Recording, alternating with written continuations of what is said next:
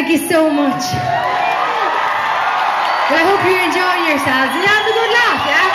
Totally having a good laugh out there, yeah? Alright, so this one is a. It's a song that I think uh, everybody has a different affiliation with. When it came out, it's a song about the family. And uh, my father, unfortunately, my dad passed away. And I'll tell you what, when I sing this song, it really means something different now. Because I tell you, you've only one dad, only one father. Love him, get to know him, and just, you know, it's cool. This one is ultimate.